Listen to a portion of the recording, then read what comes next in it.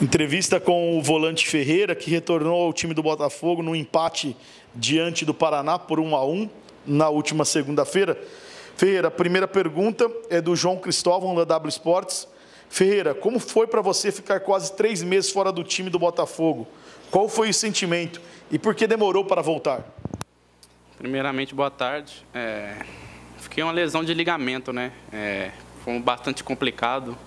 Nunca tive uma lesão tão grave como essa. Minha primeira lesão foi mais grave foi essa, lesão de ligamento. É, e é difícil, é complicado, dói bater na bola, a situação.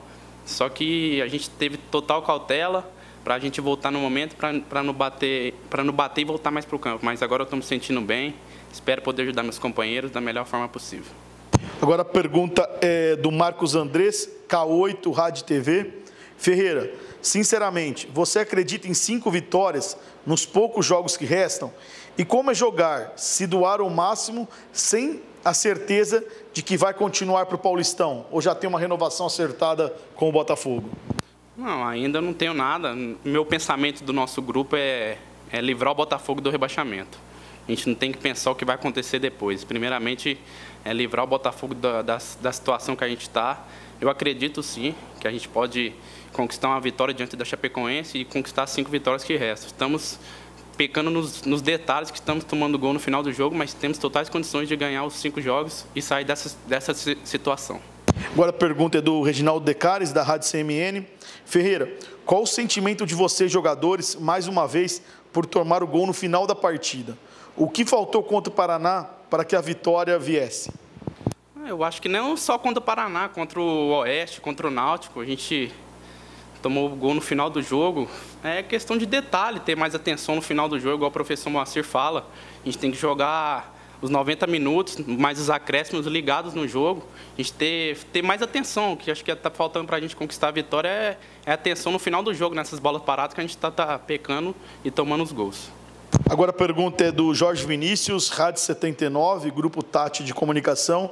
Ferreira, o esquema do técnico Moacir Júnior de quando está vencendo, recuar todo o time, colocar mais defensores e chamar o adversário para atacar o tempo todo, sobrecarrega vocês no meio de campo? Fica mais complicado jogar dessa maneira? Isso é normal do futebol brasileiro, né? A gente faz um gol, sente um pouco de alívio e quer dar uma recuada. Né? Se não é o professor Moacir que falou para a gente recuar, isso é normal do, do, dos times brasileiros.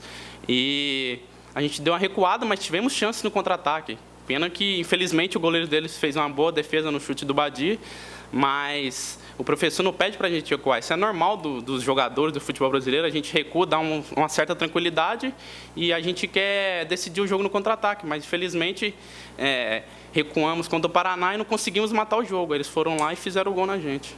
Agora a pergunta é do Rafael Gonçalves, do RG do Gol. Ferreira, qual é o ânimo e o sentimento de um atleta profissional que está completando 12 meses de luta contra o rebaixamento em dois campeonatos disputados? Chega um momento que desgasta, desgastas ou é natural e suportável? Ah, ninguém quer lutar contra o rebaixamento os dois campeonatos, né? A gente quer sempre estar brigando por título, por acesso. É difícil porque a gente sente vergonha de sair na rua, a gente está sendo cobrado bastante, a gente, a gente quer sair dessa situação. Eu acredito, com os meus companheiros, vamos dar força máxima, lutar o que a gente tem que fazer mais, tentar mais para a gente sair dessa situação aí, se Deus quiser manter o Botafogo na Série B. Agora a pergunta do Luiz Augusto, da Rádio CBN. Ferreira, você acredita que o maior problema do Botafogo é a qualidade técnica dos jogadores ou a questão psicológica, que parece estar pesando para o time conseguir manter os placares favoráveis? Nosso time tem muita qualidade, tem vários jogadores aí que jogaram em time grande, jogadores experientes. O professor Moacir também vem fazendo um excelente trabalho aí com a gente, repetindo bastante nos treinos, nos ajudando psicologicamente também. Estamos contando com a ajuda aí do psicológico do professor para nos ajudar na experiência dele.